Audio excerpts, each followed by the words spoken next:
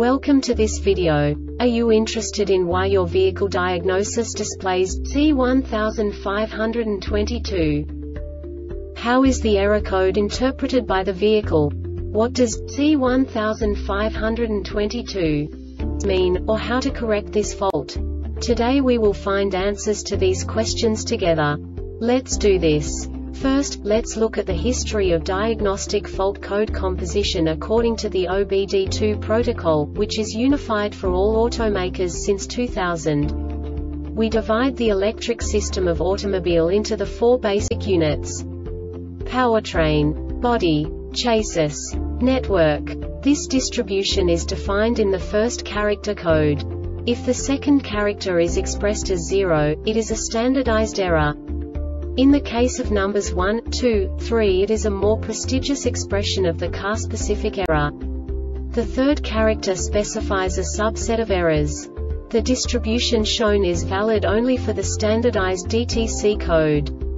Only the last two characters define the specific fault of the group. Let's not forget that such a division is valid only if the other character code is expressed by the number 0. Our website airbagreset.sk produces useful videos for you. You do not have to go through the OBD2 protocol anymore to know how to troubleshoot any car breakdown. You will find all the diagnostic codes that can be diagnosed in a Hyundai vehicles. Also many other useful things. The following demonstration will help you look into the world of software for car control units. You unbelievably can move the video a bit further. The error code is split into two bytes consisting of 16 bits. One bit is the basic unit that each computer works with. The bit has two logical states. 0, low level, 1, high level. By combining the first two bits, the basic character of the error code is expressed. The next two beats again determine the second character. The last bit styles of the first byte define the third character of the code. The second byte is composed of a combination of 8 bits. The first 4 bits determine the fourth character of the code. And the combination of the last 4 bits defines the fifth character. A single byte conceals 256 possible combinations. We now know in what way the diagnostic tool translates the received information into a more comprehensible format.